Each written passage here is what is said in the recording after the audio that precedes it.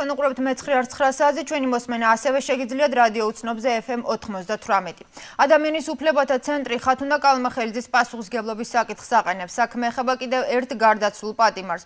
უფლებადამცველები აცხადებენ, რომ მინისტრი უპასუხისგებლოდ ასრულებს თავის მოვალეობას და მის გათავისუფლებას ითხოვენ. დღეს წარმოქმნილი ანგარიშით ხათუნა კალმახელიძის მინისტრობის პერიოდში ციხეში სიკვდილიანობა გაორმაგდა.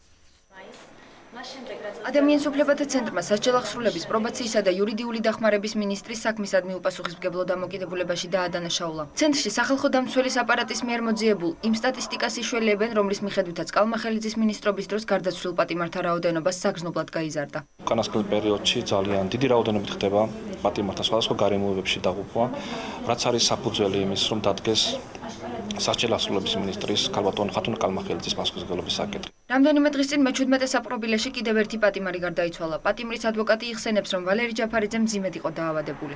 სწორედ ეს მიუთითებს სასჯელახსრულების სამინისტროს გულგრილ დამოკიდებულებას პატიმრებთან მიმართებაში, მათ ჯანმრთელობასთან მიმართებაში, რაც იწვევს მათი სიცოცხლის ხელყოფას.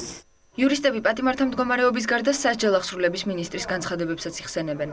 რამდენიმე სრულიად არაადეკვატური და მე ვიტყოდი საზოგადოებისთვის შეურაცხყოფელი და გარდაცვლილთა ოჯახებისთვის სრულიად შეუფერებელი განმარტება გააკეთა თითქოს ხანდაზმულები არის იყვნენ ეს პატიმრები ხატნა კალმახელიძის უწყებამ ადამიანის უფლებათა ცენტრის საპასუხოდ განცხადება ვებგვერდზე გამოაქვეყნა. მაშინ დათქვამია, რომ ვალერი ჯაფარიძე ბრალდებულთა და მსჯავრდებულთა სამკურნალო დაწესებულებაში 5 იანვარს გადაიყვანეს. ამ ფაქტს პატიმრის ადვოკატიც ადასტურებს, თუმცა აღნიშნავს, რომ სამკურნალო დაწესებულებაში გადაყვანა დაგვიანებული იყო და გადაყვანის შემდეგაც მსჯავრდებულს სათანადო ყურადღება არ მიაქციეს.